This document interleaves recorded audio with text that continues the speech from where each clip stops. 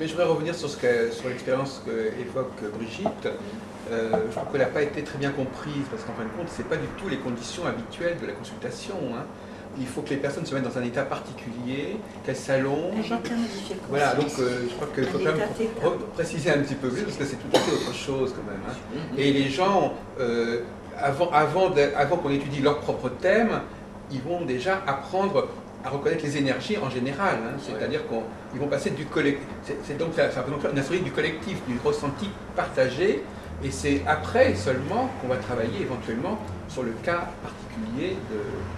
Pas? Le thème natal n'est pas tout de suite là. Si, c'est la base, le thème natal, puisque euh, il ne va pas être décortiqué tout de suite, mais certaines facettes du thème natal. Euh, comme euh, des, images symboliques euh, de certains degrés. Moi, je ne suis pas férue en, astrologie, mais euh, on va, vont, recevoir. Ce qu'on appelle les degrés monomères. Voilà, les degrés monomères vont recevoir une image personnelle, et c'est sur cette image personnelle que la personne va travailler en état modifié de conscience. C'est-à-dire qu'on fait descendre le groupe en état θ, et il y a une certaine quantité de textes sacrés qui sont en méditation euh, lus qui vont aller résonner chez la personne. Et puis après, il y a effectivement cette fameuse image symbolique qui appartient à chacun, qui va euh, agir en résonance. Donc effectivement, c'est un état particulier par rapport à une consultation où la personne vient en état conscient. Mais ceci dit, une fois que l'osmose se crée, on n'est plus tout à fait dans la conscience. Donc, euh, quand on est comme en, sophrologie individuelle, c'est un acte d'amour entre deux êtres où effectivement on va prendre en conscience la douleur, la souffrance de la personne et on va l'amener euh, tout en douceur avec euh, ce qu'elle est capable d'entendre sur le moment à avoir un autre éclairage sur sa vie. Hein, il y a une autre façon de regarder ça. Dire le mot sophrologie du on voit la souffrance, c'est quoi l'étymologie du mot sophrologie Sophro, euh, c'est apporter un bien-être à la conscience. Donc, vous êtes un sophrologue quelque part, sans le savoir euh, Non, parce que c'est une étude aussi certainement très. Oui, il y a plusieurs façons d'être sophrologue. Très sérieuse, mais comme vous disiez, c'est-à-dire petit à petit, le consultant, la consultante finit par descendre dans un état. On entre dans une euh, bulle, dans une bulle qui amène à un état presque alpha. Hein, si vous voulez, c'est à partir du moment où on a, on est, on a visé juste sans, même en avoir totalement conscience en tant qu'astrologue, on a, on a visé juste sur un, sur un aspect du thème où là la personne elle ne comprend pas, elle comprend pas pourquoi avec un simple dessin et, ne, l'ayant jamais vue, d'un seul coup, on lui parle d'elle en profondeur, vraiment dans, sa profondeur absolue. Et à partir de là, elle, elle écoute et donc elle, descend dans, son, dans un état, pas second bien sûr, mais, un état euh, de, conscience modifié, c'est-à-dire qu'elle est plus complètement Tout à fait. Euh, dans la réaction, elle est dans l'écoute et il se forme comme une bulle autour d'elle et elle est capable d'ouvrir les portes euh, de, la, de, sa connaissance elle-même. Parce qu'elle touche l'inconscient aussi. c'est très compliqué, mais on n'a pas toutes les clés. Exactement. La façon dont on peut toucher quelqu'un.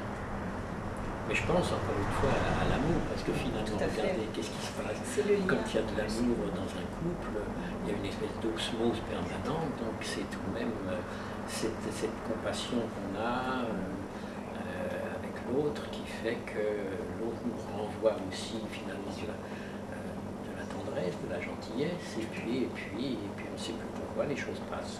Et elles passent, et tant mieux pour tout le monde. De l'intuition tout à l'heure, en sophrologie c'est pareil, on, développe beaucoup l'intuition parce qu'on n'a on pas d'outils euh, particuliers pour rencontrer l'autre, mais plus on s'affine et plus on est euh, dans, l'amour inconditionnel et plus on ressent ce que la personne, euh, on entend ce qu'elle dit, mais on ressent ce qu'elle ne dit pas.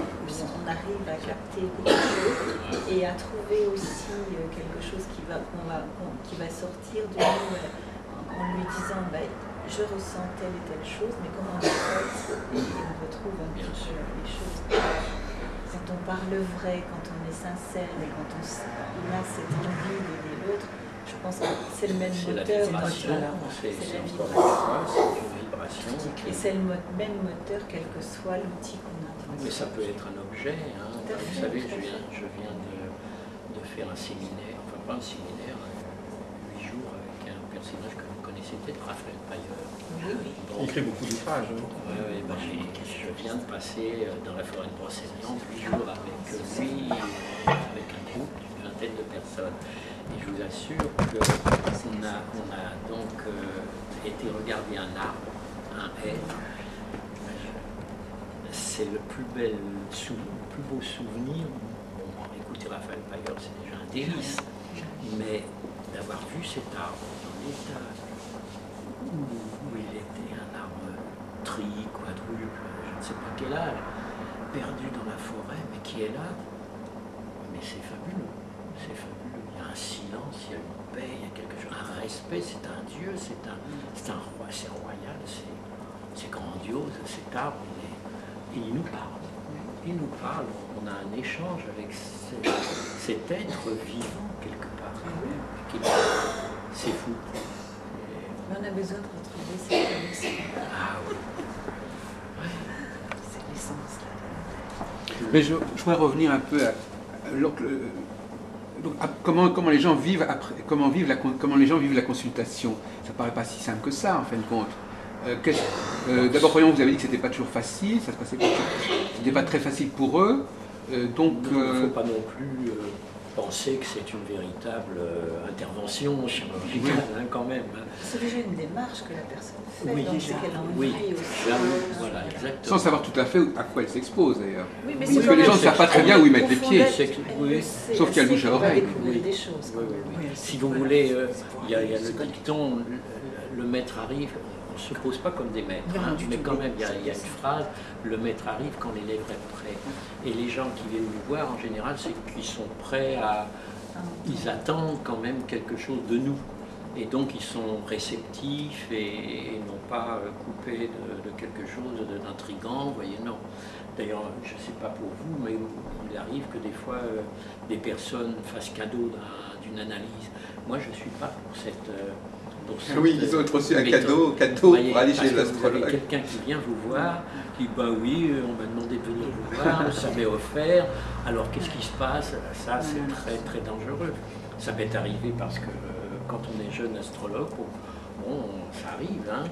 Puis finalement, j'ai. Mais vous les ce qui est formidable, c'est que finalement, malgré tout, ces gens-là qui arrivent comme ça, oh, l'astrologie, c'est pour faire plaisir que j'ai accepté. Et à la fin, il s'est effectivement, il s'est encore passé quelque chose. Mais enfin, c'est pas, pas, facile, parce qu'il faut déjà démolir certaines barrières, et c'est pas le but, et c'est pas notre travail. pas précipiter les étapes. Si on veut ouvert. sauver, si on veut faire sauter à quelqu'un, on veut en plus quelqu'un d'extérieur qui veut faire sauter une étape à quelqu'un d'autre, ça marche pas. L'étape sautée, ça c'est c'est clair, ils. On Non. Non, non, non. les gens. C'est une démarche. Voilà. Parce que ça mène dans du développement À le- tout moment de l'existence, on, s'interroge à un moment, et donc ce moment-là, il est prêt pour aller voir un sophrologue, pour aller voir un psychologue, pour aller voir un une numérologie, etc. Toutes les grandes disciplines euh, qui nous ouvrent à, nous-mêmes. Alors, il y a une position qu'on a développée à une époque en disant, au fond, euh, c'est une expérience intéressante, même si on vous dit des choses que vous n'acceptez pas, le fait déjà de dire ça n'est pas moi, c'est déjà un acte positif. C'est comme, euh, moi je dis toujours, c'est comme le médecin qui voit ce que vous avez des réflexes. On vous, donne, on vous agresse avec un petit maillet et vous réagissez. Donc euh, le simple fait d'être confronté à, à un discours vous, censé vous concerner, à la limite, même si vous, soit vous le refusez, soit vous le- le- l'entendez autrement, c'est déjà un signe de bonne santé, c'est un signe que- de vitalité. Quelqu'un qui accepterait tout ce qu'on lui dit comme ça, euh, euh, bon, ben, il y aurait un problème aussi, hein, quelque part. mhm. C'est-à-dire qu'il n'aurait pas de défense. Il y a des gens qui sont aussi assez impressionnables et qui sont très influençables aussi, monsieur. Et Ah oui, c'est aussi euh, sérieux de l'astrologue de ne pas euh, tenter, tenter euh, de des, certains pouvoirs, bien entendu, parce qu'à partir du moment où la personne est à l'écoute, c'est à nous d'être euh, ce qu'on doit être, c'est-à-dire vrai, vrai, mais sans aucune, sans aucune prétention, comme vous disiez tout à l'heure, la modestie et l'humilité, car en fait on n'est qu'un vecteur, on n'est pas du tout là pour imposer quoi que ce soit à qui que ce soit. C'est dans tous les domaines. ça. En sophrologie, on a ce qu'on appelle l'anamnèse. Ah oui, L'anamnèse, euh, c'est c'est un petit peu votre outil de travail, c'est-à-dire que c'est le révélateur, la personne se raconte. Donc il y a tout ce climat de confiance pour que la personne se raconte un maximum. Et c'est déjà la moitié du travail de prendre conscience de certaines choses, de sortir certaines choses de soi, si elle est bien menée. C'est ce que disait M. Antoine d'ailleurs, effectivement, solliciter ne serait-ce qu'une référence pour euh, euh, entraîner la personne à critiquer la référence qu'on lui donner, à réagir contre, c'est déjà lui apprendre à prendre sa place, à se positionner Bien sûr. par rapport à ce qui est dit. Donc c'est la solliciter dans cette conscience que l'existence c'est ça aussi. C'est dire non, là, c'est cette limite-là, euh, mets, parce que je ne peux pas aller plus loin ou je ne l'accepte pas.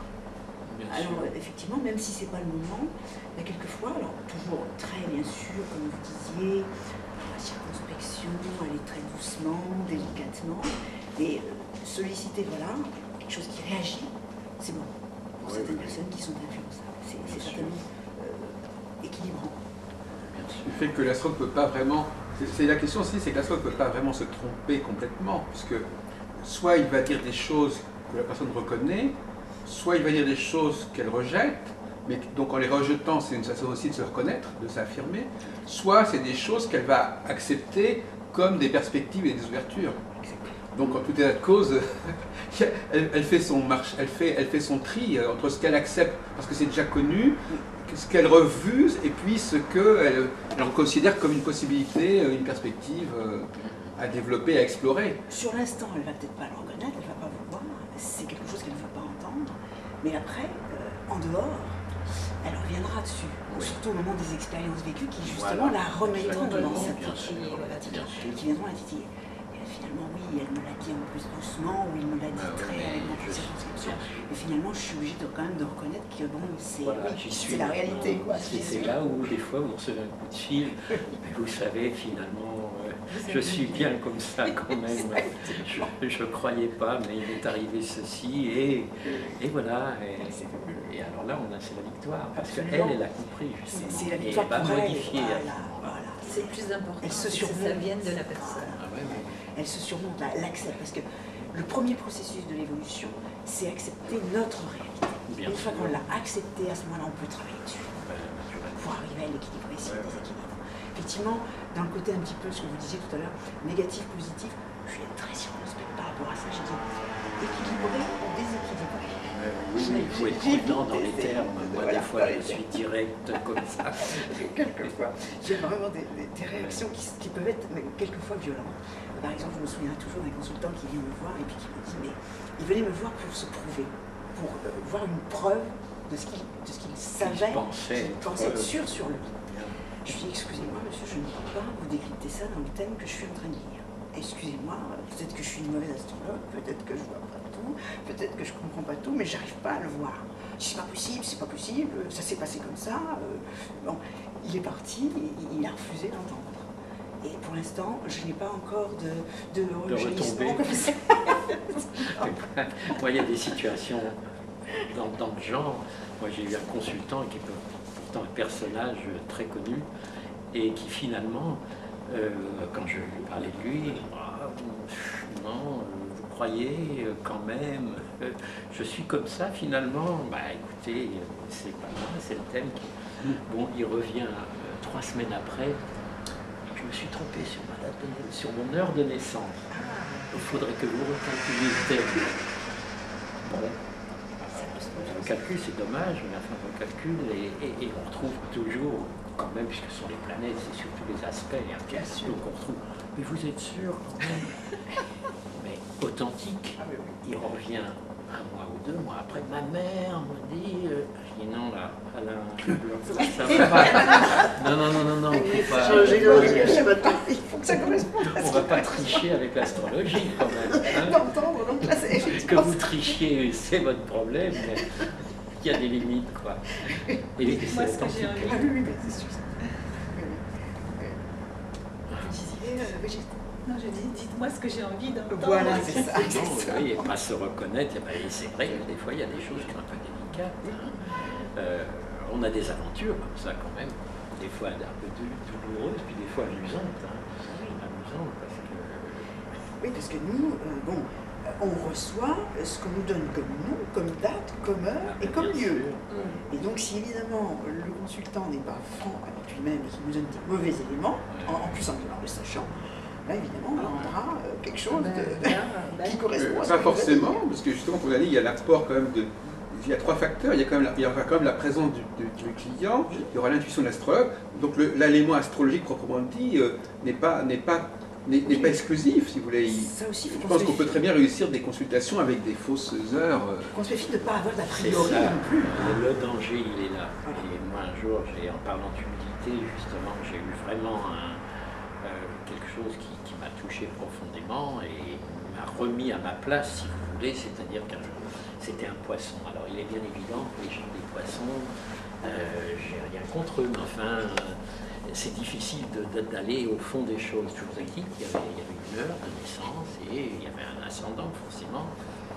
Je fais mon travail et la personne, ah oui, oui, oui, c'est- bien moi, c'est comme ça, je me reconnais. Enfin, ça ça abondait dans mon sens. C'est bien. Elle revient me voir justement aussi euh, deux mois après ou trois mois, je ne sais plus. Figurez-vous que c'est pas du tout mon heure de naissance. Et là, mis un choc et ça m'a mis devant moi-même par rapport à la connaissance qu'on peut avoir et dont on peut peut-être parfois abuser. Parce que son ascendant n'était plus du tout le même. Alors bon, les planètes, elles ne bougent pas et euh, grâce au ciel, on a quand même des aspects qui sont essentiels, mais n'empêche Sauf la Lune. qu'il n'y avait plus du tout La le même ascendant. Oui, il n'y avait plus du tout. Et là, là, là, on se dit, voyons, j'ai parlé pendant deux heures, on m'a dit, mais c'est, c'est exactement moi, et c'était pas elle. C'est dur, Tout à fait. Tout à fait. c'est dur, parce que, euh, parce que là, on s'est dit, bon, faut tout de même pas non plus être trop sûr de soi quand on, quand on assène une, une- une- une vérité, entre guillemets, justement, Il une vérité semblerait du que-. Voilà. Voilà, il semblerait que, genre, euh, comme on disait tout à l'heure avec M. Lebrun, bon, il y a effectivement la dynamique du thème de naissance euh, qui part avec, bon, si on considère qu'on vient de quelque part, qu'on est présent ici et qu'on va aller quelque part après, il y a quand même une dynamique. Bon, on s'incarne dans un couloir planétaire qui correspond à justement ce qu'on est en hauteur en tant qu'esprit et d'âme. Euh, et puis après, ça va évoluer. Bon, alors effectivement, euh, euh, cette dynamique, elle est là à un moment. hein. c'est notre programme d'incarnation. Et puis elle va évoluer, elle va bouger pendant tout notre, notre parcours. Et euh, c'est important quand même de, de comprendre euh, qu'il y a ce, ce- ce mouvement, ce cycle. Alors on le dit euh, là, et puis euh, donc on va progresser, on va évoluer avec les directions, on voit d'ailleurs. J'ai vu l'autre jour une astrologue qui disait on ne peut pas vous prédire votre évolution. On peut savoir où on est la personne, son Oui, évolution. je pense, tout en étant toujours prudent. Tout en étant toujours plus Ouais, loin. ouais. Alors on peut dire, peut-être qui prédire. Oui, voilà. Alors. Se euh, prévoir. on dit voilà. si la personne ne travaille pas, ce qui est dans son bagage d'arrivée, inéluctablement, il va se passer Mhm. hein, comme c'est prévu au départ. Par contre, Il y a une pente, il y a une pente du thème. ça, euh, bon, vraisemblablement, il va lui arriver à peu près Mhm. les choses qui sont prévues au départ. Parce qu'on ne peut pas dire qu'on évolue jamais de rien du tout. On évolue toujours à des degrés divers, petitement ou plus grand ou plus important. Mais c'est vrai qu'il y, a- y une- il y a une logique à ce moment-là qui, qui s'intègre. Et on, on arrive, si on évolue beaucoup, on peut permuter tout ce qui est du programme de base de départ. Dans la Et on peut le faire de dans la douceur on peut le faire dans la difficulté. Exactement. Tout à fait. Euh, donc c'est un programme, mais ce programme évolue. C'est une photo au moment de la naissance, et qui va complètement. Pouvoir se transformer en fonction du degré de prise de conscience Oui, oui. et du degré Et, de... de, et je pense, je m'excuse, de la qualité de l'âme qui s'incarne aussi. Ça fait Parce qu'il y a des âmes jeunes, il y a des âmes plus anciennes et elles ne vont pas vivre leur thème au même façon, niveau, même plan. je Voilà, pense. exactement, tout à fait, entièrement d'accord. Et ça, ça, ça, ça nous est difficile de le percevoir. Il n'y a qu'à travers l'intuition qu'on peut commencer à dire voilà, elle, est, elle en est là, donc vraisemblablement, ça va aller vers ça.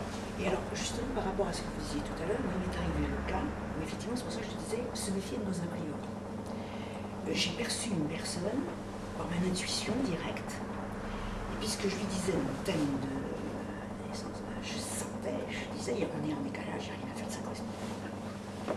Alors, on me disait, oui, parce que c'était un thème d'évolution, c'était un thème spirituel, c'était bon, elle me disait oui, elle me disait oui. Je me suis rendu compte après que le problème sur le problème. Donc effectivement, ce qu'elle m'a donné, euh, ça correspond pas. du tout. Mais. Mais là, je me suis dit non, j'ai pas le droit, ça c'est ce que je ressens. On m'a donné une œuvre, je dois donner ce qui m'a été donné par rapport à la, par rapport à le- au Dieu. Et j'ai donné.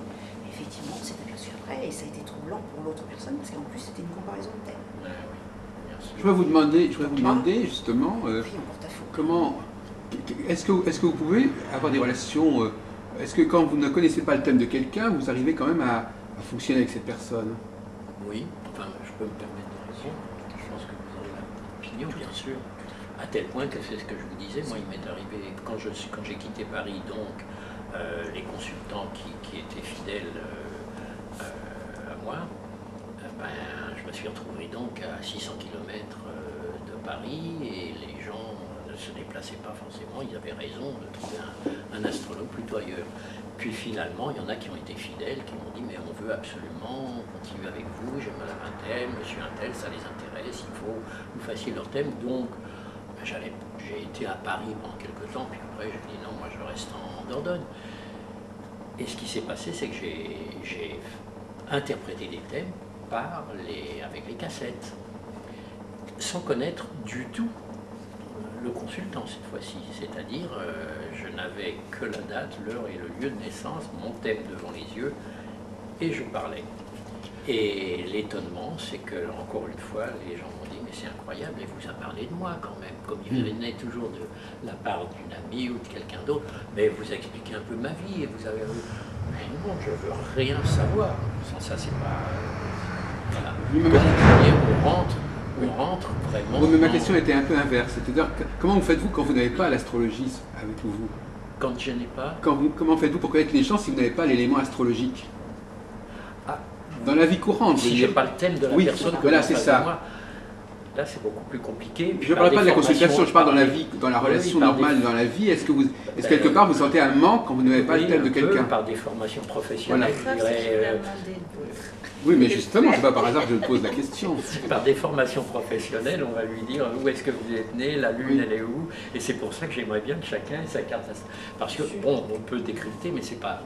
Moi, j'ai pas suffisamment d'intuition ni de perception Voilà. subtile pour sentir euh, la personne qui est en face Oui. de moi au point de la découvrir. Parce que là, par exemple, nous communiquons entre nous, nous ne connaissons pas notre Et thème justement, c'est respectif. ce que hein. proposer, de nous finalement, de nous de Non, non, mais pas forcément, mais ça veut dire qu'on peut quand même fonctionner dans la vie sans avoir forcément besoin de, de Ah l'astrologie. bah, bien sûr, euh, heureusement quand même. Mais il y a parfois des gens qui, quand ils n'ont pas l'astrologie, ben, ils s'aperçoivent qu'ils font des erreurs de jugement, des erreurs d'appréciation. Euh. C'est ce que je disais tout à l'heure par rapport à la- au recrutement d'une entreprise. C'est très difficile Ouais. et ça serait tellement plus facile Mais d'avoir oui, la carte moi, astrologique de chacun. Je ne comprends pas que l'astrologie se répande pas plus facilement. Mais ça va venir, ça va venir parce que c'est on sait pourquoi ils sont faits, ils ont une vocation, on a tous une vocation, on a tous une passion, on a tous. Et là, ça serait extraordinaire. Là, les personnes, les individus, mais seraient lumineux, seraient dans l'amour, parce qu'ils seraient dans, le, dans la passion, dans ce qu'ils aiment faire toute leur vie. Mais- Mais au jour d'aujourd'hui, quand même, on est un peu dans l'ombre. Eh ben oui. Parce que, euh, bon, moi, je ne connais pas mon thème astrologique vraiment, bon, mais je ne connais pas le vôtre, je ne connais pas le tien, je ne connais pas le tien, je ne connais pas le vôtre. Je- dire, euh, bon, est-ce qu'on est vraiment fait euh, pour s'entendre si on part en voyage oui, oui, ensemble ou si on décide bah, de- écoutez, la plupart des gens, ils se débrouillent comme ça. Hein. Ben oui, c'est ce qu'on. C'est aussi- c'est contraire, c'est quand même l'exception. Hein. C'est pour ça aussi que le monde va si mal. Oui, Mais moi je crois que les gens ont une. Moi j'ai une position un peu plus pessimiste que vous à ce sujet. et Je pense que. Pessimiste. euh, pessimiste dans le sens où je pense que. euh, pessimiste à la fois optimiste, c'est-à-dire je pense que les gens peuvent très bien fonctionner sans l'astrologie, mais pessimiste dans le sens où je dis que les gens qui font l'astrologie, c'est parfois qu'ils ont des difficultés de, de- de percevoir l'autre. Wow, peut-être tout de même pas quand même. Mais on dit Ça, bien ça que peut le arriver, thérapeute a peut-être, besoin de se soigner lui-même. Oui, bien entendu, de toute façon, Oui, déjà. peut C'est pas, c'est pas innocent de faire de l'astrologie. Justement, pas même d'aider mieux l'autre, parce qu'on a compris un peu notre fonctionnement. C'est un peu, hein. Bien sûr. Ouais, non, tout Oui. C'est ça, c'est-à-dire qu'à partir du moment où on a fait un travail, évidemment on n'a pas eu une perception immédiatement de soi-même, de connaissance de soi-même, on est obligé d'utiliser des techniques, et une fois qu'on a utilisé ces techniques, on peut évidemment les utiliser pour les autres. C'est ce un peu l'approche que j'ai eue quand j'ai commencé à l'âge de 20 Mais justement, ça m'intéresse de savoir 18. comment... Or, j'ai commencé à l'âge de 15 ans à m'intéresser à l'astrologie. À partir de 22 ans, j'en ai fait régulièrement. Et puis, bon, euh, j'ai commencé à consulter euh, beaucoup plus tard parce que j'ai eu une, première période de vie où j'ai travaillé en tant que salarié, comme tout le monde, parce qu'il fallait que j'expérimente cette partie-là, en fait, hein, pour justement acquérir aussi des capacités pour pouvoir aider vraiment l'autre après. euh, dans ce que je suis devenue lorsque j'ai évolué. Mais au départ, euh, c'était effectivement euh, quelque chose qui m'a permis de comprendre qui j'étais. Et je dis, mais c'est absolument formidable, mais si ça m'aide comme ça, comment ça va pouvoir aider les autres après? Donc il va falloir que j'y arrive à faire D'ailleurs, ça. je ne sais pas si ça vous est arrivé, mais enfin, moi, quand j'ai découvert mon thème, Oui, non, non, non, j'ai recherché aussi les erreurs de naissance, voilà. les erreurs d'heure, le lieu. Non, t'es pas comme ça, c'est pas possible. J'étais encore jeune quand même à cette époque-là. Je ne me croyais pas tel que je me suis vu dans, dans le thème. Et d'ailleurs, Berton disait toujours, la première année, je vous interdis de monter votre thème. Parce que, parce que justement, on l'interprète froidement, glacé, mal, parce qu'on ne connaît pas tout. Puis après, ben, voilà, on accepte. Accepte et on se dit, mais, mais je suis pas si mal quand même, grâce à ça. Grâce Et puis il y a des ça. façons de, il y a des, des façons de mieux regarder son thème Oui, aussi. bien hein. sûr, Euh, sûr. un débutant ne va peut-être pas percevoir dans son Voilà. thème tout ce qu'il y a à percevoir. Exactement. Donc là aussi, il y a un travail qui se fait dans le rapport au thème. Oui, oui, oui, on va plutôt regarder. On arrive toujours à trouver une, un regard qui nous arrange avec le thème. bien sûr. Quand on connaît suffisamment bien l'astrologie, on, va, circonvolutions là, on va, déceler un certain aspect qu'on n'avait peut-être pas regardé. Ou, enfin bon, on se débrouille. Celui-là pour l'instant. C'est-à-dire un bon astrologue, il- un bon astrologue, c'est aussi, pour dire un peu les choses de manière cynique, c'est quelqu'un qui voit, qui peut trouver dans le thème ce qu'il a envie de trouver. Euh, S'il n'est pas vraiment ben, il faut avec tout de même, lui-même, oui. il faut tout de même se trouver. quoi. Non, mais je veux dire qu'il a une faculté. Un- un- un- quelqu'un qui a une virtuosité en astrologie peut quand même regarder, trouver dans le thème, quand même quelque part, ce, ce qu'il a vraiment le sentiment et l'intuition de vouloir trouver. Oui, c'est le mot intuition, Intuition. surtout qui est important à partir de là. Parce que, Le débutant, entendu, lui, il a une vision un peu figée du thème, mais Oui. quelqu'un qui, a- qui connaît mieux l'astrologie, il va, il va avoir son intuition qui va être en phase avec son, Ouais. avec son perception intellectuelle. Oui, hein, parce qu'il y a intuition et il y a perception. Vous avez raison d'utiliser les deux mots. Et c'est complètement différent. L'intuition, elle vient de soi, elle vient de son senti trip, de ses tripes, en fait, de ses cellules. Et les perceptions, attention, c'est qu'on n'est pas tout seul dans un, dans un, dans un échange entre deux a des perceptions de là-haut. On a quand même euh, des énergies qui nous viennent d'en haut, euh, qu'on y croit ou qu'on n'y croit pas. Oui, oui, il, y a, il y autre chose. On hein. a notre conscience, on a On a tout ensemble, et puis on a justement suffisamment de connaissances astrologiques pour se dire de toute façon, il n'y a rien à faire, il est là, ce code, il faut que tu l'acceptes avec ce que tu sais et progresse et tu euh, justement tu découvriras peut-être d'autres valeurs un peu plus subtiles, un peu plus belles, comme vous disiez. Et on découvre aussi, on va aller au-delà peut-être par les symboles, par les, par les mythes, euh, de découvrir de- du meilleur dans les difficultés, si vous Mais pour revenir à la question prévisionnelle ou prédictionnelle, vous-même, vous, vous tenez compte de certains transits ou de certaines bah, directions pour euh, euh, comprendre certaines choses dans votre vie? Dans ma vie propre, oui, de temps en temps, on regarde quand même un peu comme ça, quand ça va On dit pas parfois que les bien, cordonniers sont les plus mal chaussés planète, là. que les... Ça qui va bien, bouscule très quand même un peu, hein. oui. Mais vous Oui, savez, d'ailleurs, euh, je reviens toujours à Berton parce que pour moi, ça a été vraiment un grand Je l'ai bien professeur. connu, Jacques Berton. Ah oui, et il disait toujours, oubliez, à partir du moment où vous consultez, oubliez votre thème. Ah oui, Vous n'existez plus, c'est l'autre qui existe. Ah oui. Il avait raison, il a raison. il oui, genre. Vous l'avez bien connu? Oui, mais il y a très longtemps, dans les années euh, 70. Oui, oui, oui. J'étais assez proche de lui. quand il sortait de chez euh, du cours euh, théâtre, de théâtre, de Non, mais Simon, non? Non, mais moi je l'ai connu parce que vous savez, vous avez entendu parler du Centre international d'astrologie, forcément.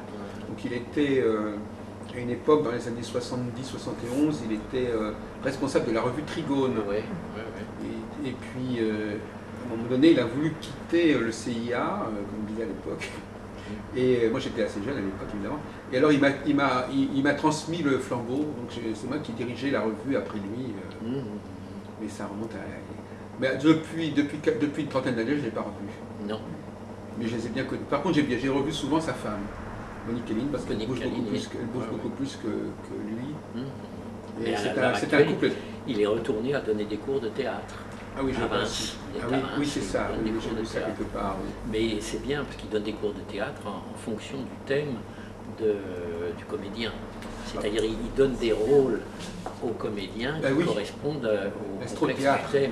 Mais alors justement, vous pourriez peut-être nous évoquer cette, euh, cette en- un peu cette en- vous, avez, vous avez suivi ces cours euh, sur place? Vous voulez dire les cours d'astrologie Oui, de- vous êtes allé à Ah, Levallois c'était des Oui, cours peut-être nous, évoquer un peu cette époque, cette ambiance. euh, Ah ben, pour moi, elle était merveilleuse. C'est un des plus beaux souvenirs de ma vie. oui, mais comment ça se déroulait Quand les gens imaginent un peu comment ça se déroulait euh, Ben, C'est-à-dire qu'il nous imposait un silence absolu, absolument pas d'intervention euh, au cours de son exposé, enfin au cours de Ah oui. sa, méditation. C'était magistral, comme vous dites. C'était un cours magistral, c'était très grandiose. Mais qui était hein. enregistré en l'occurrence. Euh, c'est pour ça que- puisqu'il a- il y a C'est pour ça qu'après, il y, a- il y des gens dans toute la France qui ont pu euh, bien sûr. parcours. Mais il y avait des projecteurs, il, était très théâtral en fait. Des projecteurs? Ah oui, oui, il était sur un podium, et puis euh, nous, on était une soixantaine, une centaine, on y va à peine quand même. Et puis, euh, bah, il y avait des projecteurs derrière nous, et quand euh, le cours commençait, il allumait les projecteurs, il était plein phare, et il faisait son, il faisait son cours magistral. Mais, euh, on ne pouvait pas se permettre de critiquer quoi que ce soit, parce que c'était tellement fabuleux qu'on était à l'écoute. Alors le contenu, pour ceux qui ne connaissent pas, le- on, on dit toujours que c'était une forme d'astro-psychanalyse, on parlait beaucoup des complexes. Ouais, Qu'est-ce que c'est ça, le- oui, l'enseignement de Bergson C'est-à-dire, euh il attache plus grande importance qu'il attache, c'est aux aspects astrologiques. Ah Bah oui, puisque c'est ça qu'il appelle. voilà, euh, le- si vous voulez, le- le- c'était la dynamique du thème est à travers les aspects, puisque les planètes bougent perpétuellement, alors que le, signe, euh, c'est beaucoup plus primaire, c'est beaucoup plus stable.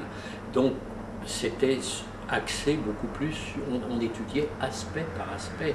Et ce qu'il y avait de merveilleux chez lui, c'est qu'il avait une connaissance énorme sur le plan euh, euh, de, de la biographie des grands êtres, hein, Oui. des, des écrivains, des peintres, des musiciens.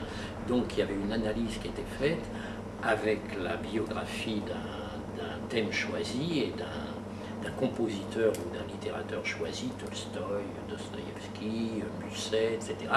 Et il nous lisait des textes, ce qui était fabuleux, c'est qu'il nous lisait des textes de ces personnages-là en nous disant, regardez bien l'aspect dont je vous ai parlé et vous allez voir que c'est lui qui en parle. C'est comme ça que vous allez apprendre l'astrologie. C'est pas du tout en prenant un manuel où il y a deux lignes décrites. C'est en lisant Musset, en lisant Verlaine, en lisant Baudelaire, et que vous allez apprendre l'astrologie. Que ce soir, vous allez lire toutes les, toutes les tragédies de Racine, vous allez regarder le thème de Racine et vous trouverez ce que vous cherchez et l'explication d'un aspect. Vous voyez, c'était comme ça qu'il travaillait c'était fabuleux. Parce qu'en plus, c'était un, comédien merveilleux. hein. donc, euh, quand, on, quand, il récit- quand il récitait une scène euh, de Carmen, par exemple, hein, euh, bah, c'était incroyable. Euh, Vous étiez au spectacle. on était au spectacle, mais on pénétrait, c'est ce que vous disiez tout à l'heure, on descendait, on descendait dans notre. Dans, dans notre euh, Là, vous aviez contact avec les énergies, c'est pas ce que oui, c'est fabuleux, c'était oui. fabuleux. C'était fabuleux parce que, euh, voilà, euh, on- d'ailleurs, vous vous rendez compte que c'était des cours qui duraient des fois euh, près de trois heures Ouais. et qu'on n'était jamais fatigué. Vous étiez en osmose. On était là, on était bouche bée et en attente. euh, On il nous versait à la petite cuillère la connaissance. Et ça, c'était. Et puis il y avait toute la mythologie quand même aussi. hein. Non, non, c'est un. Je ne serais jamais devenu, d'ailleurs je ne voulais pas, mais je ne serais jamais devenu astrologue si je n'avais pas rencontré Jacques Berton. Jamais. Jamais, j'en suis convaincu. Ça ne veut pas dire que si on ne le rencontre pas, on ne devient pas astrologue. Ouais. Mais euh, en ce qui me concerne, Ça- a été, ça a été un fleuve que voilà, j'ai pris la barque et puis je suis descendu dans le fleuve. Quand je suis arrivé dans l'océan, j'étais astrologue sans le vouloir, sans le vouloir, absolument pas. Quoi. Donc il donnait un savoir qui s'adressait à, tous, à tout l'auditoire, Ouais. il ne, il ne l'adaptait pas à une, à personne en Ah non, non, particulier. non, non, non, c'était universel. Oui, c'est ça. Donc Ça, on n'était pas dans l'étude du... Non, non, c'est. c'est- aux élèves, c'était aux élèves de faire après un travail sur euh, leur propre thème. Bien sûr, sur leur propre thème ou, ou sur le- toutes les, toutes les, toutes les, les analyses qu'il avait faites, Oui. puisqu'il enregistrait. Donc à nous d'avoir les cassettes et de, de le réécouter. Moi je sais que j'ai, mot à mot, j'ai recopié tous ces cours, une première fois au crayon, au brouillon, et après avec ma plume. Et, vous voyez, je travaillais, et à l'époque, il fallait bien que je gagne ma vie. Et j'allais gagner ma vie le matin en vitesse, en vitesse, en vitesse, puisque j'étais un commercial, et que donc l'après-midi, je me plongeais dans, dans- dans l'astrologie et je recopiais les cours. Jamais autant travaillé de ma vie euh, que euh, avec la, les C'était une fois de par semaine que le... À l'école, j'avais pas fait grand-chose, mais Ouais. alors là, je travaillais nuit et jour. euh, Vous rattrape- vous rattrapiez le temps perdu d'une certaine manière. presque. Ouais, ouais. C'est ça, il y a cette notion souvent de rattrapage dans le- chez les gens qui apprennent l'astrologie. Ouais, Ils ont l'impression que tout d'un coup, ils vont, ils vont acquérir un savoir, une culture, Mais des oui, connaissances que- en astronomie, en mythologie, en, en psychologie, Ouais. alors qu'ils avaient l'impression d'être un petit peu en retard dans leur formation. Et c'est pour ça qu'on veut aider tous ceux qui sont là euh, autour de nous en disant mais euh, apprenez, apprenez. allez- Il y a un mot qui est un petit peu, un petit peu exagéré, mais c'est le mot raccourci. C'est-à-dire que souvent on dit, euh, grâce à l'astrologie, on va plus vite, on apprend plus vite, on connaît plus vite les gens. Et aussi, d'une certaine manière, euh, euh, l'apprentissage de l'astrologie, c'est parfois une façon de, de, de ra- de rattraper des, des- des tas de connaissances, des, tas de connaissances qu'on avait, on avait l'impression qu'on ne les avait pas acquises comme, comme il fallait. Et là, tout d'un coup, la personne, au lieu de se sentir à l'arrière, elle se sent, elle se sent à l'avant. C'est-à-dire qu'on est passé d'une situation où on croyait être un petit peu attardé, une situation où les gens ont l'impression de dire Ah, mais moi maintenant je sais des choses que même les autres ne savent pas. Mais on n'a pas, on n'a pas de regret parce que de toute façon, c'était pas l'heure non plus d'apprendre euh, ce qu'on a, ce qu'on a découvert. C'est quand on connaît un peu les cycles d'incarnation, on sait qu'on est prêt à un certain âge plutôt qu'à un autre pour justement découvrir euh, la vie. Et on la découvre euh, à toutes les minutes en fait. hein. On vient de la découvrir ensemble. Encore une fois, on, a, on repart, et etc. utiliser cette, cette- cette discipline, ce, ce code, comme moyen d'évolution. C'est ça. C'est quand on voit que c'est un moyen d'évolution et qu'on cherche sinon ailleurs, où est-ce que, quelles sont les, les choses qui nous permettent sûres de pouvoir évoluer. Euh, c'est pas, c'est pas évident. Or là, euh, enfin, je sais pas moi, en tant que Sagittaire, Ah oui. Ah, ça y est, voilà un signe qu'on on va donner des informations. Sagittaire, là, un ascendant maintenant. vierge. Ah, ah. Bon, déjà ça. Il y a de ça- la méthode quelque part aussi. Euh, bon, euh, bon, je- je- bon, mon parcours, je pas le dire, bon, c'est un exemple unique parmi tant d'autres. Euh, j'ai une formation, j'ai une maîtrise de droit d'abord. Donc effectivement, par rapport à ce que disait monsieur, je suis arrivée, bon, défendre l'aide pour moi aux gens, c'était les aider à se défendre. Oui, il y avait déjà part. Voilà, les aider à se défendre. Parce qu'ils étaient tellement attaqués, je les voyais attaquer tout part, il fallait que je sois là pour essayer de, de- de les aider dans ce, Mhm. dans ce domaine-là, défendre. Puis quand je me suis aperçue très vite que, ouh là là là là là, dans quelle histoire je me marquais, j'ai dit, c'est pas la bonne voie, il y a quelque chose qui ne va pas. Euh, parce qu'effectivement, j'ai commencé l'astrologie à l'âge de 15 ans, mais en même temps, j'avais mon cursus qui m'emmenait d'abord soit vers la psy- la psychologie, euh, mais alors avec euh, vraiment euh, le cadre cursus des études classiques, etc. Ou soit le droit. J'ai choisi le, le droit. J'ai choisi le droit. Euh, mais certainement pour une bonne cause, parce que si j'avais fait psycho, j'aurais fait astro. Donc effectivement, alors il y a ce processus-là, et puis dire, euh, euh, comprendre que effectivement c'est simplement, on apprend un moyen d'apprendre, c'est simplement ça. Ça ne va pas plus loin. Et on ne découvre pas l'essentiel. Et dans cette approche de l'astrologie, j'avais l'impression de connecter, de pouvoir connecter l'essence de soi. Et c'est ça qui m'a. J'ai dit, reste à l'écart, c'est là que je viens, c'est là ma La vérité. vérité. une espèce de vérité personnelle, hein, qui nous donne un moyen. C'est- C'est un moyen, un moyen de s'approcher, un moyen, un moyen de se surmonter, un moyen de, de développer, d'aller toujours plus loin. Voilà, c'est un peu l'histoire du Sagittaire qui va, qui va essayer toujours d'aller plus loin, de se de, de se- de passer au-delà. Voilà, c'est un peu cette, cette histoire. Mais donc, quand on a eu ce parcours-là de référence, on se dit finalement, le reste, c'est rien du tout. C'est rien du tout. Ça nous a appris simplement où savoir chercher, où savoir apprendre. Et que le fait, le but de la vie, finalement, c'est d'apprendre, c'est d'acquérir des forces supplémentaires, des forces au-delà de ce qu'on connaît, de- du connu, d'aller vers l'inconnu, d'aller vers l'invisible, pour acquérir encore quelque chose de plus fort, qui va plus loin. Ouais, Donc voilà, c'est un peu, voilà comment ça s'est passé. bien sûr. On est tous un peu sur Donc, le même, euh, C'est une approche. Vous-même, vous êtes de quel signe, euh, Michel Verseau. Verseau ascendant Gémeaux, Lune en balance. De l'air, de l'air. Mais avec un Saturne euh, assez, euh, assez présent quand même aussi dans le thème. Et qui structure, parce que Oui, sinon... Oui, ce serait évidemment intéressant de voir quel rapport il y a entre notre thème et ce que nous disons, notre façon de faire l'astrologie, de la Ah, voir. bien Euh, sûr, Ah, naturellement. Moi, je suis Sagittaire également, donc je trouve une affinité avec ce que dit euh, quand elle nous parle du, co- du- du collectif, des configurations globales, avant de passer. Il y, a, il y a des choses qui me parlent plus que quelqu'un qui est plus individualiste. Le Verseau, évidemment. Une vision holistique des choses aussi, le Verseau. hein. Il a une vision holistique quand même. Ah oui, oui, oui, oui, oui, bien il a- sûr. Mais Cette notion de la fraternité humaine. je me je me projette, je me projette beaucoup dans le futur et c'est la raison pour laquelle je suis, je trépigne de voir que les gens ne sont pas encore euh, euh, prêts entre guillemets parce que beaucoup s'interrogent quand même aujourd'hui. Quand vous dites l'ère du verso, quelque part, euh, ça- vous vous consentez concerné. ah ben je me sens très à l'aise. Quand, un verso dit l'ère du verso, c'est Ah pas pareil oui, que si je me sens euh, très à l'aise dans cette, euh, dans cette présence-là actuelle où tout est chambardé, tout est. On remet, on remue de fond en comble. Moi, je suis à l'aise. Parce que je me dis, enfin, Ça va changer.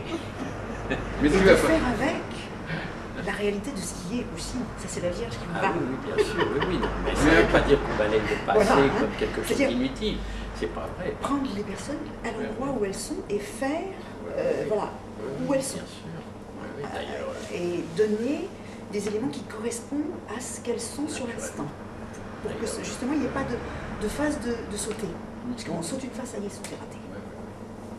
Mais comme vous disiez tout à l'heure, euh, justement, vous disiez que c'était un savoir qui peut-être était incomplet, ou qui pouvait avoir été corrompu, ou qui pouvait.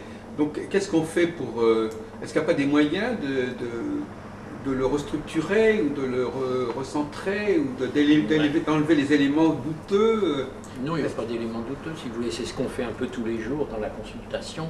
On va piocher dans notre euh, profondeur inconsciente avec, euh, avec comment euh, l'inconscient collectif de, de Jung de Jung, etc. On repêche à droite à gauche et, on- et finalement on tente de trouver et finalement on trouve un peu. On trouve un peu. D'a- D'ailleurs, on dit des choses. Des fois, moi, j'ai réécouté parfois par des personnes qui me disent Mais réécoutez ce que vous m'avez dit, Ah oui. parce que euh, c'est bien, ça correspond à ce que maintenant, aujourd'hui, j'entends. Je dis Mais j'ai dit ça, c'est quand même curieux, parce que aujourd'hui, sur Aujourd'hui, je ne le dirais pas forcément de la même façon, ou je- ben, c'est une trouvaille que, que j'ai plus maintenant à ma portée. Vous voyez, Vous avez fait une sorte de synthèse, euh, cette synthèse aurait pu être un petit peu. Et d'ailleurs, d'ailleurs, faut reconnaître, et vous, c'est certainement la même chose. Il m'est arrivé, moi, parce que quand maintenant je travaille beaucoup moins en consultation, mais euh, à une époque, euh, quand j'étais à Paris, ça donnait, c'était c'était mon travail, quoi, absolument. Donc j'étais dans une, euh, j'étais seul d'abord, et j'étais dans une euh, intériorité qui, était ce qu'elle était. Et donc il m'est arrivé des fois d'avoir de l'intuition d'un seul coup. Le thème, il jaillit quelque chose et on s'entend dire, surtout dans la prévision, des, des- futurs. Et moi, je me dédoublais, je me dis, mais cette fois-ci, tu ne vois pas dans le thème. C'est pas inscrit ce que tu es en train de dire. Et pourtant, tu affirmes, tu le dis, la personne est étonnée devant toi. Et euh, là, on, on en arrive à être dans la partition musicale de la vie de la personne. C'est-à-dire qu'on a le fil directeur, le fil logique qui compte. Et effectivement, ce qu'on considère étant comme de l'intuition, c'est pas forcément l'intuition, c'est simplement raccorder tous les différents points sur le courant de, la, de la vie de la personne. oui, oui, aussi, oui. C'est la, comment le- Je le perçois comme ça. À vous avez raison. Et aussi, c'est pas forcément la, la, la voyance, non. C'est aussi, avec tout ce qu'on a dit maintenant, ben, il va vraisemblablement, ça y est, maintenant, ça va, ça va se poursuivre dans ce sens-là. Tout à fait. Seulement, on affirme à ce moment-là des choses. Et, Alors oui, voilà, c'est parce qu'on étonne la personne, surtout sur de la prévision. Sûr. Quand il s'agit de, de, professi- de choses professionnelles, c'est des fois un peu délicat. Et on continue, mais si, si, si. Et, et là, il y a un dédouble. Moi, je me souviens, je me, je dédoublais. Enfin, tu affirmes quelque chose que tu vois plus. Et pourtant, tu es sûr de ce que tu dis. On s'observe. Voilà, Et voilà. réflexion Jusqu'où faite, ça- ça a fonctionné. ne pas aller. Ouais. Voilà, Parce que là, c'est toujours pareil. Euh, le conditionnement, comme on disait tout à l'heure avec M. C'est-à-dire que le conditionnement, il vient Euh, aussi une conditionnement personnel. Vous mettez une idée dans la tête d'une personne, elle va se créer dès qu'on sûr. met. C'est Murphy, un peu Joseph Murphy, vous savez. hein. Voilà. Là, tu, tu, tu dictes à ton inconscient et hop, en route, euh, ça va arriver inévitablement. Ah, Mais bon, c'est pour ça qu'il ne faut pas trop choisir les pouvoirs dans la, la puissance. Parce que le regard euh, de l'observateur euh, a une influence sur la chose observée et au contraire la crée. Ça va même beaucoup plus loin. Si vous choisissez de regarder pendant euh, un millier de possibles, si vous choisissez de regarder que celui-là, c'est celui-là qui va se créer parce que justement vous regardez. Exactement, on ne pense pas à une voix, elle ne se créera pas parce qu'on on imagine Non, même pas. elle existe l'ombre, oui, Donc c'est, on a vraiment une responsabilité Oui. énorme. C'est énorme. ce que j'allais dire, c'est très attention. Alors c'est pour ça qu'au niveau prévision, au niveau prédiction pire, alors là, et c'est pour ça comme vous dites, il y a une espèce de dédoublement qui se fait, on se dit, voyons, est-ce que j'ai le droit de le dire? Est-ce que je peux le dire? Ou est-ce que je vais le présenter d'une autre façon? C'est ça qui fait la qualité d'un bon, astrologue. C'est voilà, c'est toujours cette Oui, parce que des fois, c'est incroyable ce qui se passe. Parce que ce qui est dit, c'est dans la tête de la personne.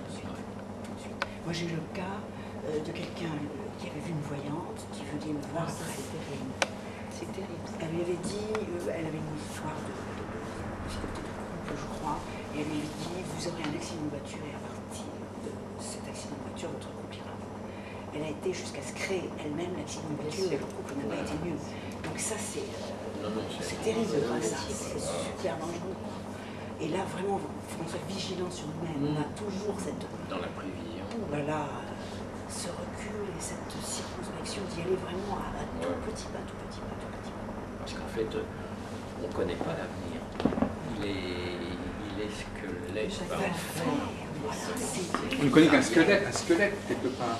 Oui, bien sûr. Une abstraction. Mais oui, oui, oui, Comme vous dites, c'est-à-dire il y a, il y a une pente du thème, et inévitablement, c'est le fil d'Ariane hein, dans la mythologie, c'est-à-dire il n'y a pas de doute, on, on poursuit notre propre destin à travers nos projections, mais euh, pour nous ça va, mais pour les, les conseiller à l'autre, c'est vraiment délicat. hein. Il faut être très très prudent. Mais peut-être que c'est pas non plus facile de, d'être en rapport avec son propre thème. Pas... On peut aussi faire des erreurs. Euh, à, titre personnel, on peut aussi faire des erreurs d'appréciation. Et puis quand on a, comme on a dit tout à l'heure, une grande expertise, on, on- parce qu'il y a aussi, comme vous disiez tout à l'heure, c'est assez amusant, c'est-à-dire qu'effectivement, euh, parfois on peut mettre sur le compte du thème ce qui est de l'ordre de nos propres fantasmes, de nos propres attentes. Oui, mais On se, moment-là, dérespons- on se décharge sur le thème, on dit mais c'est pas moi, c'est le thème qui a. Oui, mais enfin, C'est une planète qui C'est une sorte de, de, de l'autre, c'est un autre moi-même quelque part. Euh, qui, oui, le je thème, pense qu'on on a une sorte de schizophrénie. Moi, il m'arrive souvent, euh, il m'est arrivé souvent de ne pas suivre mon thème. Dire tu vas à côté et tu vas voir ce qui va t'arriver. Ça, ça a à coup sûr. Absolument, vous essayez de comprendre. Et alors il, il se passait des choses qui n'étaient pas très heureuses. si Ah, avez- forcément, hein, puisque si vous ne suivez pas vraiment ce que votre thème dicte dans sa sagesse, il est bien évident que vous allez vers des risques. Et voilà, et c'est là le libre arbitre euh, merveilleux. hein. Mais, dans- mais moi, combien de fois, j'ai dit, bah, tu t'en Mais tu t'en vas à droite, tu vas y aller à pieds joints. quand on veut éviter une expérience, l'expérience, on l'évitera, mais ce qu'on a à travailler, on ne peut, peut pas pas. l'éviter. Alors ça se produira par l'intermédiaire d'une autre expérience sur un autre terrain, mais la même chose sera travaillée. Et ça, on ne peut pas l'échapper. D'ailleurs, c'est très tentant de désobéir. Surtout quand il s'agit des sentiments. Alors là, alors là, on se fourvoie avec une, une facilité par rapport à notre thème. Ça, Là-dessus, a longtemps que j'ai compris, hélas. Mais tant pis, on y va. c'est aussi notre karma, entre guillemets. même, hein. Oui, tout à fait. Alors il n'est pas dit que si on n'avait pas suivi le thème, on serait un être beaucoup plus merveilleux, mais tant pis, on verra bien. On prend les chemins de traverse. On va prendre le chemin de croix, voilà. On a d'autres éléments aussi en même temps par les chemins de traverse, donc ça c'est formidable. Euh, Alors c'est plus ou moins difficile, ça c'est sûr. Quelquefois ça peut bonne couche. Je ne sais pas quelle heure est-il. Il est tard, il est une heure et demie. Il est une heure et demie, il va falloir bouger comme Alors justement, je voulais vous proposer quelque chose, euh, si ça vous intéresse, pour ceux qui sont courageux. Il y a Monsieur Rémi Boucher, qui est astrologue à Sarlat, qui vient nous rejoindre dans, dans une demi-heure. Et si vous voulez, on peut continuer. Moi, je vais chez lui. Ceux qui veulent peuvent continuer la discussion chez lui. Il a, il a fait un énorme travail d'astrologie. Il, a neuf- enfin, il a écrit énormément de choses. Donc ceux qui, ceux qui ont du temps, bah, je sais pas, vous, vous avez du temps euh, J'ai effectivement réservé la journée pour Voilà. notre rencontre à tous, donc bon. Donc euh, voilà, donc moi je vous conçois, parce que je trouve que c'est toujours intéressant qu'on soit plusieurs. c'est quand même- Une Je suis, confrontation, j'aime bien aussi les entretiens en tête à tête qui sont plus calmes, mais euh, j'aime bien aussi cette dynamique. euh, c'est un peu un autre genre, c'est un autre style. Voilà. Donc euh, ceux qui veulent, tout à l'heure, c'est bref, tout à l'heure on s'est vu tout à- en tête à tête. Oui, oui. C'est pas la même, je, je me fonctionne pas de la même manière, je vous rassure. Donc il y a un genre qui est le colloque, la discussion, et puis un autre genre qui est l'entretien. Et on fonctionne pas la même, c'est pas les mêmes règles, les mêmes règles du jeu. Non, Parce que dans l'entretien, on ne va pas brusquer la personne. Par contre, dans le colloque, bon, ben, on peut exprimer des différences. C'est pas le même, c'est pas le même, c'est pas le même jeu. Donc, euh, est-ce que vous avez du temps, vous, euh, Brigitte? Euh, oui, peut-être pas tout l'après-midi. Non, non, mais de toute façon, moi, je prends mon, mon train, à, je prends mon train à 17 h de toute façon, donc ça ne va pas s'éterniser. Mais si je vous proposais entre 14 h et 16 h une suite à notre entretien, peut-être qu'entre-temps, vous pouvez aller manger quelque chose, si vous voulez. Je ne sais Oui. pas. Et vous-même, vous êtes, vous avez des, vous avez des, vous êtes, vous êtes pris cet après-midi, je suppose, êtes arrivé. Moi, j'ai j'ai absolument, figurez-vous, il faut que j'assure une voiture. Ah bon Je vais me servir demain. Ah bon Et qu'il n'est pas assuré. Mais vous allez faire ça va vous prendre compliqué beaucoup de parce que c'est une voiture euh, de, de collection, donc il faut absolument Ah que oui. j'ai déjà été voir. Ah oui, parce qu'on ne sait jamais, oui. Donc euh, là, il faut absolument que j'ai un créneau, moi, Oui. j'ai des coups de fil. Mais vous pourriez peut-être nous rejoindre. avec plaisir. Vous pourriez peut-être nous rejoindre un peu plus tard. Oui, c'est-à-dire que là, les bureaux sont fermés. Quelle heure est-il? Une heure et demie? Oui. Vous nous rejoindre vers C'est 15 à- quelle heure, à quelle heure vous... Ah ben on sera chez lui à partir de 14h30. Ah, Il est à Sarlat. C'est pas compliqué. Vous êtes en voiture vous êtes... euh. Il va vous Il est à expliquer. Sarlat ici, non? Oui, à Sarlat. Oui, il a plusieurs. Comment Il vit à Sarlat. Il est où exactement? Ah ben je vais vous le dire. Il je- est à, à la Boucorie en montant chez nous, il est derrière, euh, derrière chez. derrière euh, anciennement. La, la boulangerie, par là. Ah, d'accord. Merci. Et Michel, tu en prendras quelques C'est quelqu'un d'intéressant aussi. Mais euh, Tu peux en oui, donner aussi plusieurs à... Oui, oui, oui, pardon. je- Mais ils sont là. euh, je vais, je vais vous. Oui. Tu peux en inscrire, tu- tu- Elle en a un carton. euh, Tu en as C'est le, Oui, je- c'est le programme des... prochain ciné-forum. Voilà.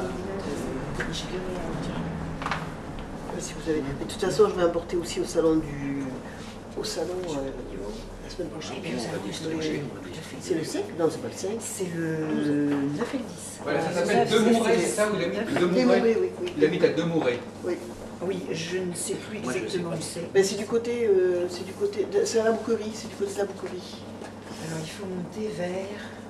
Euh, ah ben, j'ai jamais- De De toute Ah, façon, vrai, normalement, euh, madame, on vous prend en voiture de toute façon, normalement. Euh, moi j'ai ma voiture. Oui, mais vous pouvez la laisser là, on vous Oui. ramène à la voiture. Faire- C'est pareil pour tout le monde, il n'y a pas besoin d'y aller en voiture. Il n'y a que monsieur qui, éventuellement, nous pourrait nous rejoindre. Je vais vous donner son téléphone, si vous voulez, pour que vous... Oui, Sachez. euh, Maïté va peut-être indiqué, je sais pas exactement où il habite. hein. Je sais qu'il m'avait dit qu'il était à la Euh, justement, je vais vous donner son téléphone. Oui. Vous avez de quoi noter Peut-être vous pouvez noter pour monsieur? Allez, allez-y. Je vais- Je prends, je vais. Ah. C'est le 05 53 Ah, 31 attendez, attendez. Oui, 69 44. 05 53 31 69 44. Donc c'est Demouret. Monsieur Rémi Boucher. On sera là-bas jusqu'à 4h30 à peu près. Euh, donc si vous allez assurer, c'est vous-même que vous avez acquis récemment une voiture et vous voulez oui, la... Oui, une voiture qui doit sortir samedi. Enfin, sortir, Ah oui. moi, je, je dois la conduire demain après-midi. Ah bon C'est un défilé Vous participez à un défilé On m'a, oui, on m'a sollicité pour euh, un groupe qui parcourt les vignes, euh, les vignobles du ah oui. Bordelais.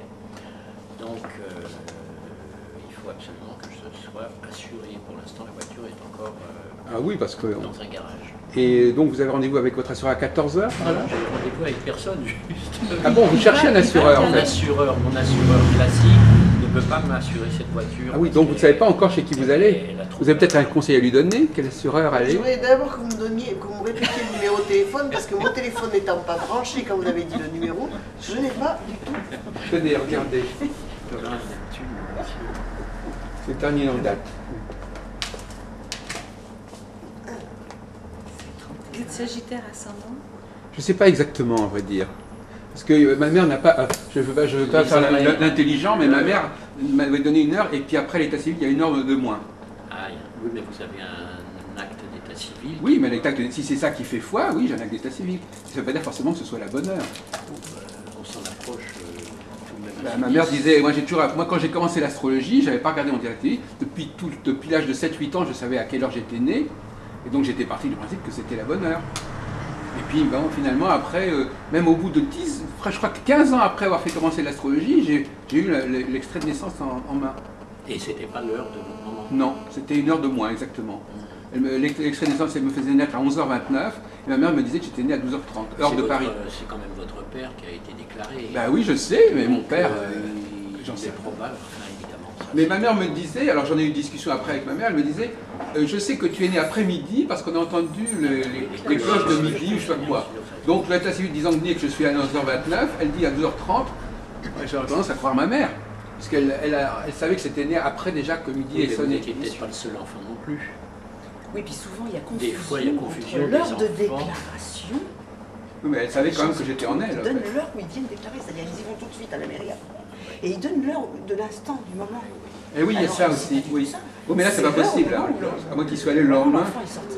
Et ça vous donne un ascendant alors Ben, dans un cas, ça me donne un ascendant Capricorne, selon l'état civil, et un ascendant Verseau selon l'heure de ma mère. Et euh, au niveau, au milieu du ciel, d'un côté- d'un un sens, j'ai Mercure, l'autre côté, j'ai Soleil, Jupiter. Alors ça change. quoi. Donc là, je suis un bon exemple intéressant parce que vous pourriez regarder, euh, ça- Un bon cas sur lequel se pencher. Ouais, voilà. vous regardez quel est, le, quel est le thème qui correspond le mieux à, à ce que je suis ou à ce que j'ai réalisé. Euh, moi, je sais que je suis rentré dans l'astrologie sur la base de, de l'heure de ma naissance. Et je pense, je dis toujours, peut-être que si j'avais eu l'heure de naissance de l'état civil, euh, comme je me serais peut-être pas aussi bien reconnu, ou j'aurais peut-être pas fait d'astrologie.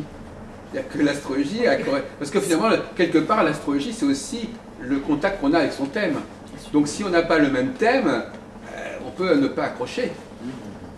Et donc, euh, d'une certaine manière, euh, je me, je me sens pas du tout dans le, je me, Non. sens- je me- je suis pas du tout identifié avec le thème qui s'effraie après sur l'autre base. Donc l'heure d'état civil vous donne verso? Non, c'est le contraire, monsieur. Au contraire. Elle me met la lune en cancer au descendant, alors qu'elle est en maison 6 dans la deuxième heure. Elle met Mercure en scorpion au milieu du ciel, alors que dans l'autre sens, j'ai du lion au descendant et du sagittaire au milieu du ciel. Donc, dans un cas, j'ai de l'eau, dans l'autre cas, j'ai du, du feu. voilà. Donc, euh, de toute façon, moi, comme je me suis un peu désintéressé depuis pas mal d'années de, de ces questions euh, au niveau du thème natal, donc euh, je laisse euh, chacun entendre ce qu'il veut.